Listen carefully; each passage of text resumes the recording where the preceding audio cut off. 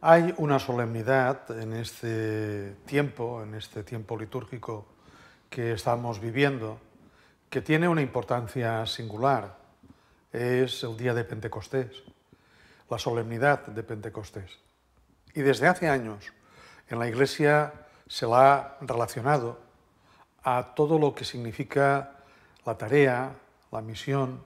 del laicado dentro de la vida de la Iglesia, de las comunidades. Yo quisiera desde aquí,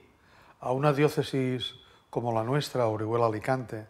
que es riquísima, no sé si ustedes se lo pueden imaginar,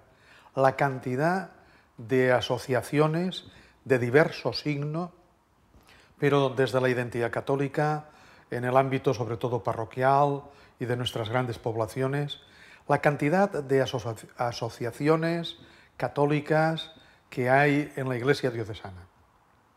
Yo quisiera desde aquí dedicar una palabra de reconocimiento a tantos laicos que desde los consejos de pastoral de las parroquias, desde la catequesis, desde el ámbito litúrgico, desde Cáritas, desde la acción social, colegios, diversidad enorme de asociaciones e instituciones son los que hacen posible la vida diaria de la Iglesia diocesana. Por tanto, en esta solemnidad de Pentecostés, mi gratitud y mi reconocimiento a los laicos a nivel individual,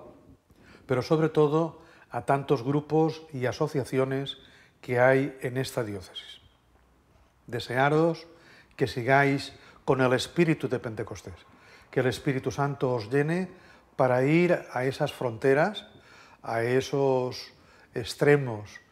que no son ya las comunidades en su núcleo confortable, sino como nos pedía el Santo Padre Francisco, el Papa Francisco, hay que salir, hay que ir a donde están las orillas de la comunidad y de la Iglesia, a servir y a llevar la luz y la sal que es el Evangelio. Feliz trabajo y muchas gracias.